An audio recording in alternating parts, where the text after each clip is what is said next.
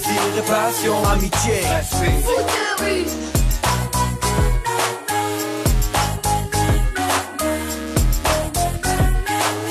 Partage, Foot de rue.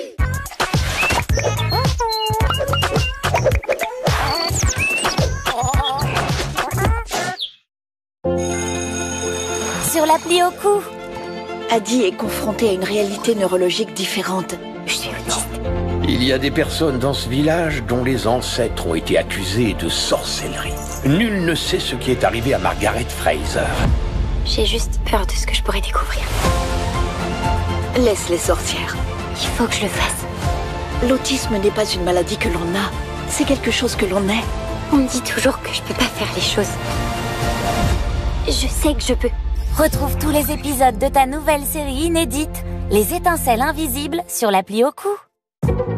À quoi ça sert? Ça veut dire quoi ça? Pourquoi c'est comme ça? C'est où? C'est qui lui? Un jour, une question. Depuis quand les baskets existent? Il faut remonter en 1830 pour rencontrer l'ancêtre des baskets. Cette année-là, un fabricant britannique imagine un soulier en tissu dont la semelle est faite, pour la première fois, en caoutchouc. Ce modèle n'est pas encore destiné à l'activité sportive, mais aux promenades sur la plage, car sa semelle, étanche, garde les pieds au sec. Comment la basket est-elle devenue une chaussure star? La souplesse et la légèreté de ce type de chaussure séduit rapidement les sportifs. Des modèles sont adaptés à la pratique de l'athlétisme, puis du tennis. En France, la chaussure prend le nom de ce sport. On chausse, c'est tennis.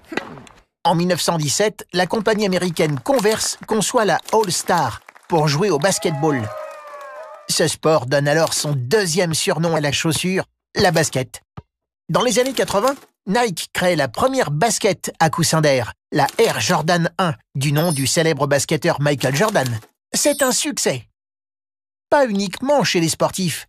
Des rappeurs aux acteurs, les célébrités s'affichent basket aux pieds. La mode est lancée, la chaussure se porte désormais en ville. Les designers des marques de luxe lancent eux aussi leurs modèles. Et la basket devient un phénomène culturel. Certaines paires emblématiques sont même exposées dans les musées. Tu te poses des questions? Envoie-les-nous. Et nous, on y répond. T'imagines si tu ne pouvais plus regarder tes dessins animés préférés? Non, Tu resterais sans rien faire? Je n'ai pas le droit. Non Alors, tu dois dire à tes parents que sur l'appli au cou, ils retrouveront les héros qui les faisaient vibrer. Vous êtes un exemple pour tous les descendants des terriens. Vous exagérez, mademoiselle. Parce que les vrais héros Goldorak, sont éternels. T'es drôlement fort pour un vieux, toi. Yakari, le plus grand des cavaliers Sioux. Le rêve à portée de la main. Et les séries cultes aussi sont à portée de main. À partager entre grands enfants et vrais enfants sur l'appli au cou.